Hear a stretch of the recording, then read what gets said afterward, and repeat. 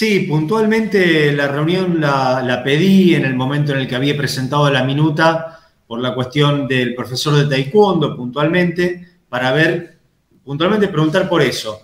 Así que, bueno, digo algunas consideraciones generales en cuanto a que de 77 actividades había 50 aproximadamente en marcha y eh, respecto a lo que lo consulté, de lo de Walter, el contrato de Walter, dijo que, bueno, que en principio no, eh, no se sabía si, se, iba a arrancar la actividad que él daba, así que en resumidas cuentas no dio, no dio razón mucho de, este, de si continuará o no contratado.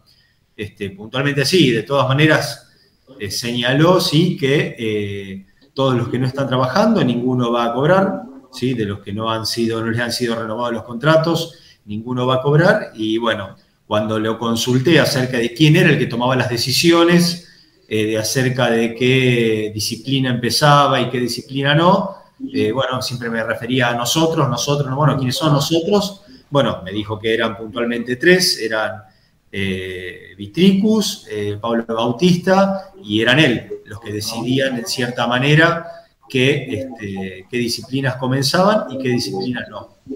Así que bueno, así continuará la, cosa, seguramente sin ningún tipo de novedad, tanto para Walter como para el resto de los profesores que este, hoy por hoy no están dando clases ni de manera presencial ni de manera virtual en la escuela municipal.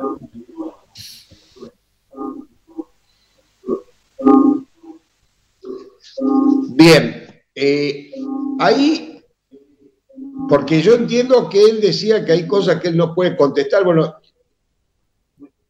¿Qué, puede hacerse? ¿Ustedes pueden buscar alguna respuesta del Ejecutivo?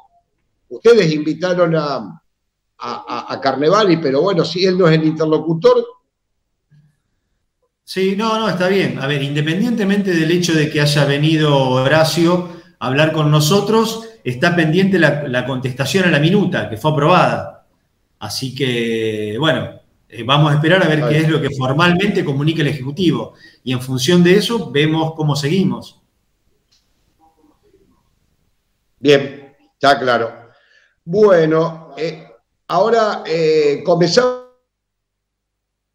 si quiere, para ir por el orden de lo que es el orden del día. primero vamos a este veto, a un proyecto de ordenanza que usted lo tiene como autor, que es lo referido al proyecto ordenanza suyo tenía que ver con la prórroga de las reválidas. Usted mismo entendió que por una cuestión técnica aprobó el, veto, se aprobó por unanimidad el veto de la intendenta concejal.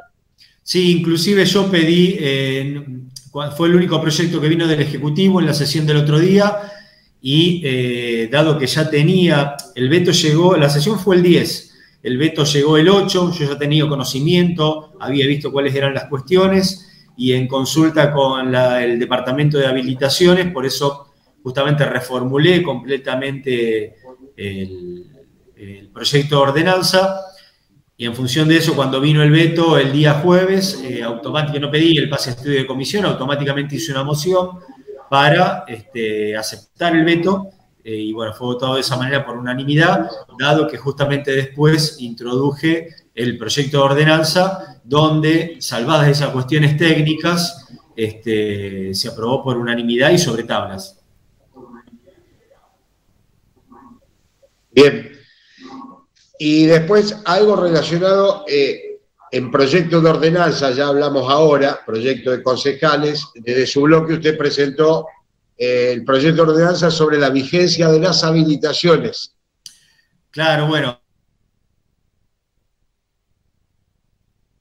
Justamente, justamente este es un nuevo proyecto reformulado para que eh, pueda darse curso a lo que era eran justamente el proyecto que fue vetado, que eran las reválidas, ¿sí? de una manera más general, de una manera más general este, y sin ninguna aparente este, contradicción con ninguna norma provincial ni nacional. Así que bueno, eso justamente era un proyecto similar, pero distinto este, al que había sido vetado por el Ejecutivo. Ahí estamos. Y después, en lo que a usted compete, porque tiene que ver también un dictamen de comisión con un proyecto presentado por usted que lo aprobaron con cuatro votos contra tres en la licitación para playa de camiones, concejal. Exactamente, bueno, este fue un proyecto de junio del año pasado que estaba estudio de comisión. Eh, era un proyecto, bueno, de la tan esperada playa de camiones que es tan necesaria en nuestra ciudad con muchísimos camiones tanto como los que hay acá, como aquellos que están de paso, eh, dado que ya está el inmueble desde una ordenanza del año 2009, si mal no recuerdo, que es donde hoy por hoy están los Pumas. Así que bueno, el año pasado había presentado un proyecto de ordenanza para que se eh, llame a una licitación pública, que es la manera de realizarlo. Eh, y bueno, lo presenté, quedó a estudio de comisión, el año pasado y este, la última sesión lo dictaminé, hubo dictamen favorable, fue aprobado por 4 a 3, así que bueno, una vez que sea eh, promulgada por el Ejecutivo, si es que no lo veta, si es que no lo veta, este, va a tener que realizar el llamado a licitación pública para, bueno, la ejecución, la gestión y el funcionamiento de la playa de camiones.